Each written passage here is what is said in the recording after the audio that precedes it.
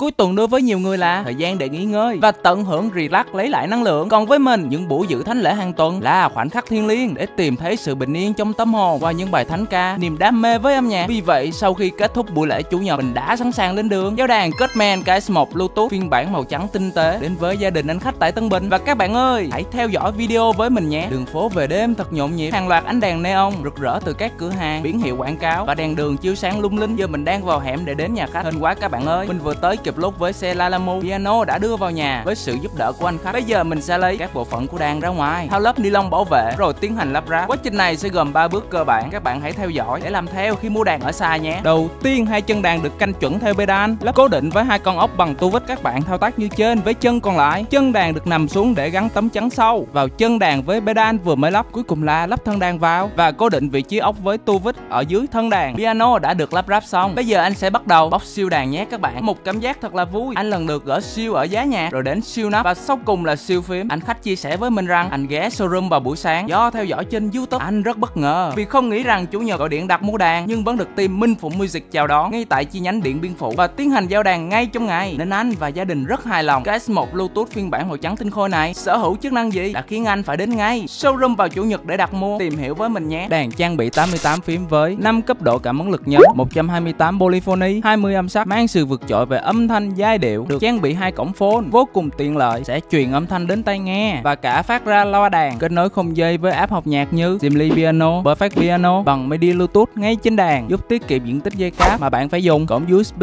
kết nối máy tính, điện thoại thông minh, máy tính bạn dễ dàng hỗ trợ truyền dữ liệu MIDI và dữ liệu âm thanh kỹ thuật số. Đàn còn sở hữu nhiều chức năng hiện đại như metronome đếm nhịp, Tinova trộn tiếng, Expo tăng giảm tone và đặc biệt tất cả các chức năng đều được tổng hợp trong một nút function. Đàn trang bị đầy đủ ba pedal, sustain, Sustain Auto và Soft điều chỉnh âm thanh theo ý muốn của người chơi để thể hiện được trọn vẹn cảm xúc của bản nhạc. Chất lượng âm thanh lẫn âm sắc cực chuẩn trong và luôn ổn định với hai loa công suất 25W dưới thân đàn. Đến mua Cutman KS1 Bluetooth tại Minh Phụ Music, bạn sẽ được bảo hành 24 tháng, một đổi một trong vòng 30 ngày, giao hàng và lắp đặt miễn phí. Vậy là buổi bàn giao piano điện Cutman KS1 Bluetooth đã thành công rồi các bạn ơi.